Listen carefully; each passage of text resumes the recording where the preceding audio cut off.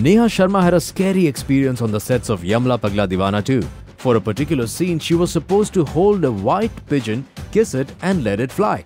However, she felt very scared holding the bird as it began fluttering vigorously. If you do it right, then we'll uh, finish. Otherwise, we have nine pigeons.